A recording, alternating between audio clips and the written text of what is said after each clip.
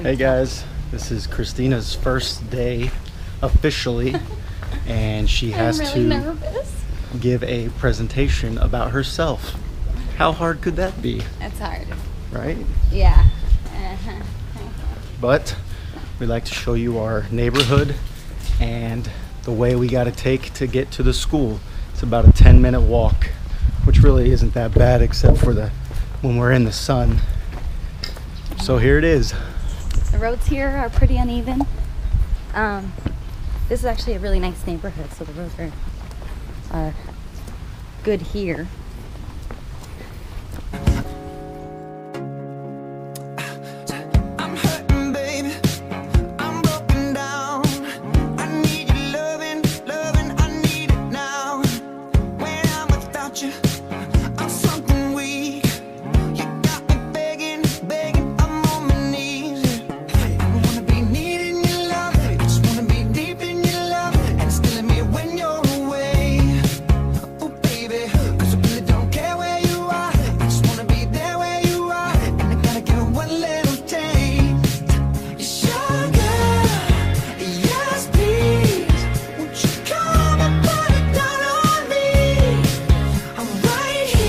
After about seven minutes, we made it to campus.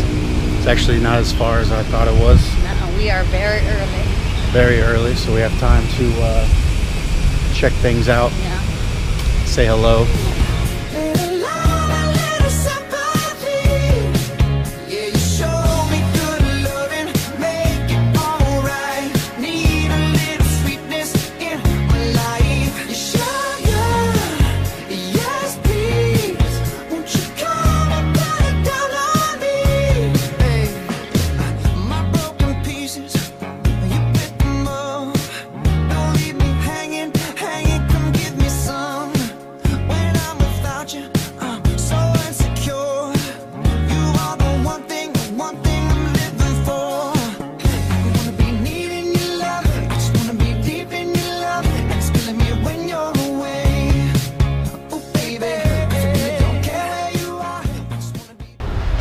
All right, so we just left a. Uh, My first meeting.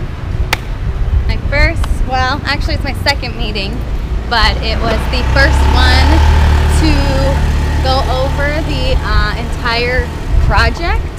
Um, I presented about my background and it went really well. And I did a good job. So go me. yay!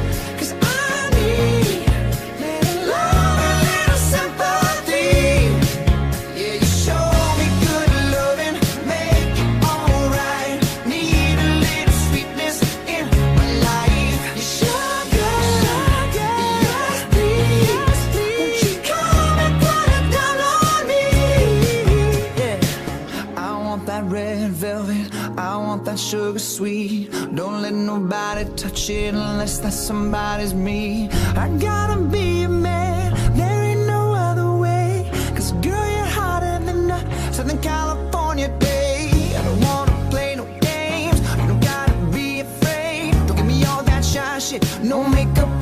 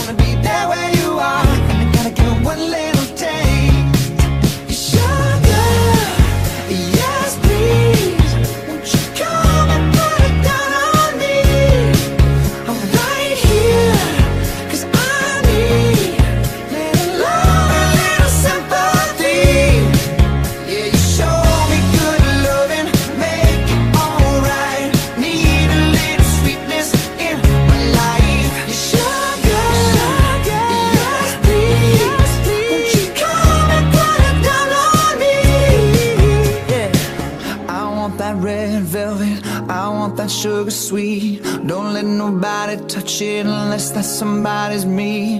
I gotta be a man,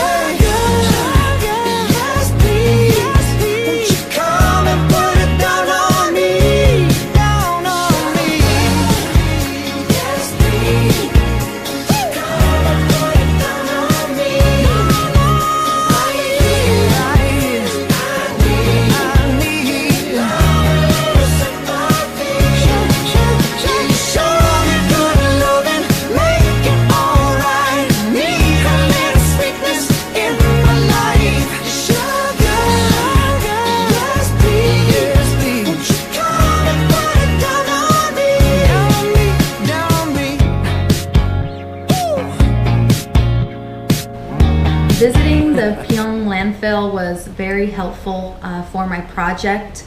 It is a lot to take in um, because there is just very little uh, management and containment involved in this landfill. To be honest, I was naively surprised um, at the lack of controls at this landfill, and it was just an eye-opening experience um, to be able to go there. But I'm really looking forward to this project, and I'm with a great team of people at uh, Gadjah Mada, and um, it's just it's been great so far here in Indonesia. I'm looking forward to making the world a better place. We'll see you next time. Our story elsewhere.